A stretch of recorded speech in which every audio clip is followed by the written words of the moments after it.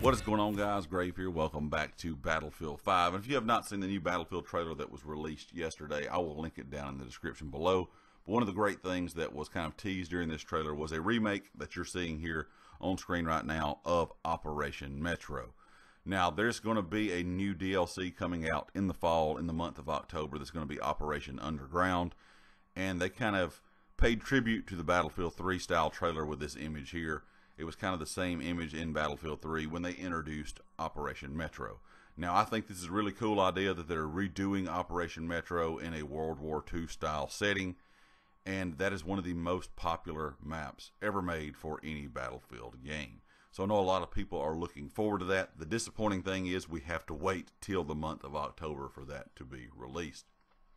They also teased the Pacific Front DLC and of course, that is the DLC that is involving the United States being in World War II.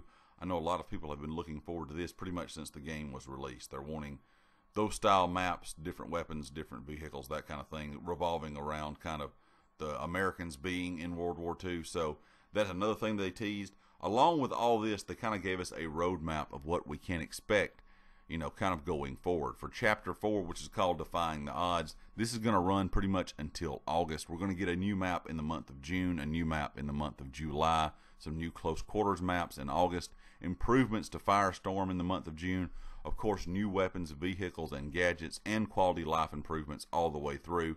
Now, if you are new to the game or just now kind of getting back into the game, they release new weapons or currency or something every week. You have certain challenges you need to do, and once those are done for the week, you unlock a weapon. Sometimes it is currency. But if you have missed out on these, don't worry. You can purchase any of those with in-game currency. You know, any of those weapons that have come out in the past chapters. So don't worry about that. But they're doing a lot of things week in and week out for this game, and I really like the idea of them bringing a lot of maps out. If you watch the video I did a few weeks back about the new Mercury map that was released, I was hoping DICE is going to start releasing a map or even two maps a month just to kind of freshen the game up and give a larger map pool to play in. Now, the announcement of Operation Metro and the Pacific DLC was my two favorites. And of course, in, in case you don't know, all of this stuff is free. This is a live content drop, so you don't have to pay for any of this DLC. It is all free. But I was really excited to see those two things being kind of teased within that trailer. But like I said, I'm kind of disappointed that we have to wait until the fall for this to come out because time by the time that the the Pacific Front DLC and Operation Metro are brought to the game, the game is going to be almost out for a year. And there was so much disappointment with the game to begin with. It lost players, it's gained players, it's lost players. And I wish a lot of this stuff was coming out this summer to get more people interested in the game sooner rather than later because the fall is always the time that a lot of games come out. I mean, E3 is about to be coming up, so we'll get to see a lot of games that may be released this year.